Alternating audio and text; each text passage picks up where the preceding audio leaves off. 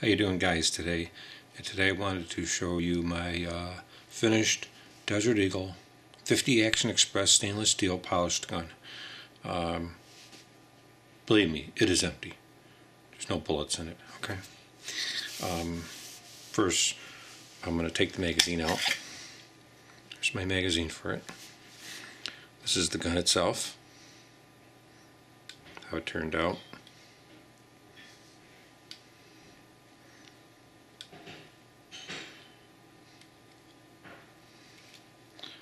Okay. There's a little dust still on it and a little wax I got on it, but um, this is the gun.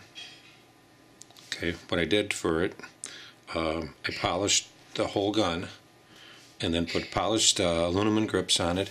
Uh, the parts here, like these, are chrome plated. Trigger, hammer, sights, uh, screws, your takedown, things like this.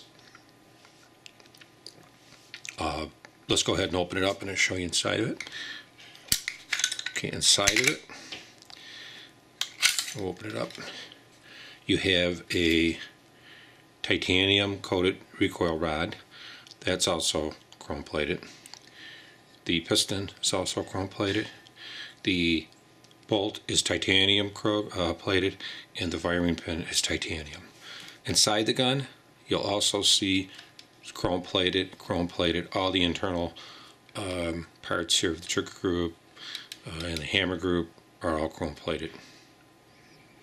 It's chrome plated in there. So uh, actually it turned out pretty good, I think. Could put it back together here. Um, and um, I just wanted the, it to look a little different. But also the plating actually does help the gun. Put the barrel back in.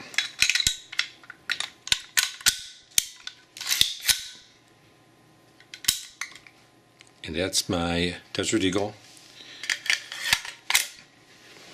50 Action Express polished. This is all stainless steel this gun now. I want you. Completely stainless steel gun. There's the sights. Fiber optic sights.